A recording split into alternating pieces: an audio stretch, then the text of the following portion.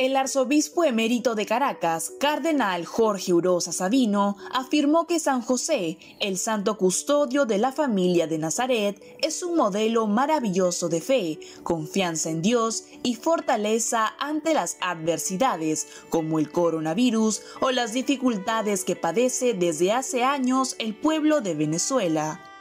En recientes declaraciones a Así Prensa, el cardenal Urosa explicó que el santo es también ejemplo de religiosidad, pues tuvo un corazón lleno de fe y de bondad, centrado en Jesús.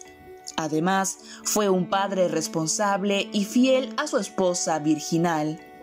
En esa línea, aseguró que San José es un modelo maravilloso, especialmente para los trabajadores y los padres de familia, puesto que él no fue borracho, parrandero ni jugador, pero quien sí tuvo gran fortaleza, como la necesitamos todos hoy.